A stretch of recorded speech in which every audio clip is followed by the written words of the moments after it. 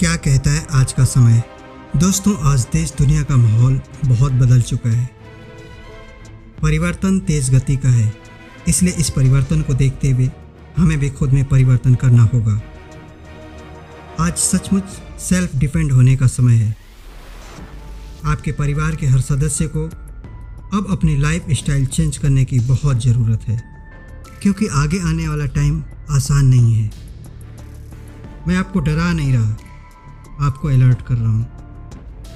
अब उन्मुक्त आकाश में कल्पनाओं के पंखों में उड़ना छोड़ना होगा।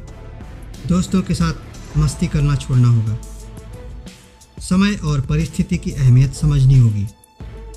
अगर आप स्टडी कर रहे हैं तो अपने फेल होने की संभावनाओं को ख़त्म करना होगा।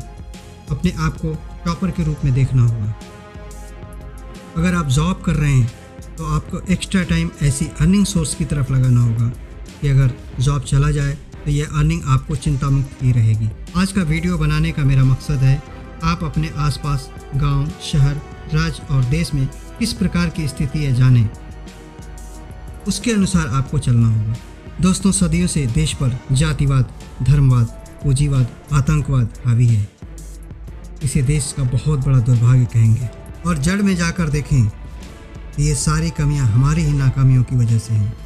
आज आंकड़े कुछ भी हों, लेकिन 70 परसेंट से ज़्यादा संख्या गरीबी में है, क्योंकि आगे बढ़ने के लिए हमारा प्रयास लगभग शून्य के बराबर है। क्योंकि हम जिस परिस्थिति में हैं, उससे बाहर निकलना नहीं चाहते। हम चाहते ही नहीं, अगर हम गरीब हैं तो धनी कैसे बने? हम चाहते ही नहीं, यदि हम कमज़ोर हैं तो शक्तिशाली कैसे बने? हम चाहते ही नहीं, यदि हम अनपढ़ हैं तो शिक्षित कैसे बने? हम कभी अपने आप को अपडेट करना ही नहीं चाहते। लेकिन जिन लोगों ने अपने आप को अपडेट कर लिया, वो 70 परसेंट में से निकलकर उन 30 परसेंट में शामिल हो गए। ये 30 परसेंट कभी नहीं चाहेगा कि 70 परसेंट हमारी बराबरी में खड़ा हो। इसलिए जातिवाद, धर्मवाद, पूंजीवाद हावी है। तो 70 परसेंट आपस में लड़ेंगे और 30 परसेंट अपनी तरक्की करते और उन्हें लड़ता देखकर खुश होंगे। इसलिए आत्मनिर्भर तो होना ही पड़ेगा। बहुत से ऐसे लोग हैं जो सोचते हैं कि नौकरी पाने के लिए पढ़ाई ज़रूरी है। पैसा कमाने के लिए ही पढ़ाई ज़रूरी है। ऐसी सोचने की मूर्खता न करना। अब परिस्थिति देखते हुए जीवन जीने के लिए पढ़ाई ज़रूरी है। आपका एजुकेशन ही है जो कदम कदम पर आपको धोखाधड़ी से बचाएगा। तो शिक्षा आपके जीवन संघर्ष को बहुत आसान करने वाली है। आप शोषण होने से बच सकेंगे। आज का समय और आने वाले समय को देखते हुए मुझे यही लगता है कि देश के हर परिवार को कानून की जानकारी रखना बेहद ज़रूरी होगा। हर घर में भारतीय संविधान की किताब होनी चाहिए।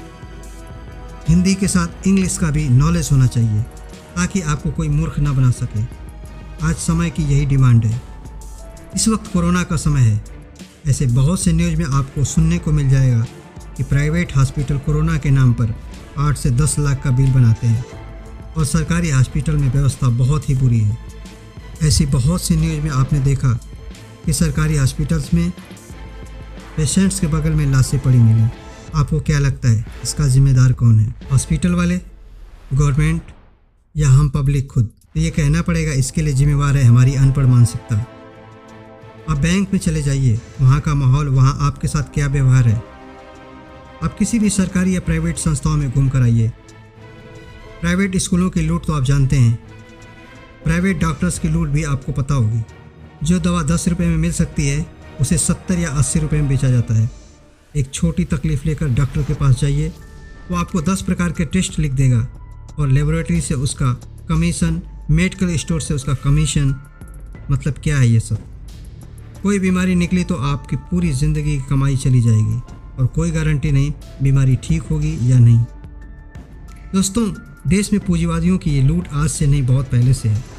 हम सबने देखा दिल्ली, मुंबई, कलकत्ता जैसे शहरों में काम करने वाले मजदूर पैदल अपने घर को आने में विवश थे कंपनियों ने उन्हें तुरंत निकाल दिया।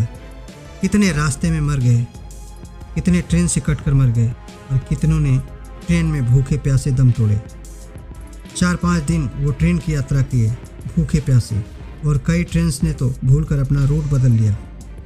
इन सारी घटनाओं को हम सबने देखा, और अभी भी समस्याएँ कम नहीं हैं। अगर इन समस्याओं से हम कुछ नहीं सीखे तो हमारे लिए आगे कठिन राह होगी।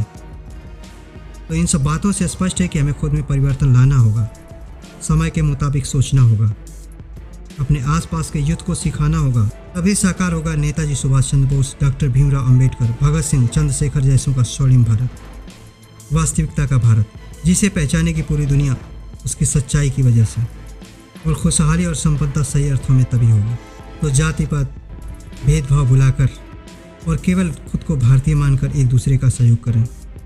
सच्चे अर्थ में राष्ट्रभक्ति होगी और अशिक्षा और गरीबी का समूल नाश हो सकेगा। खुद को एजुकेट करें, दूसरे को भी एजुकेट करें।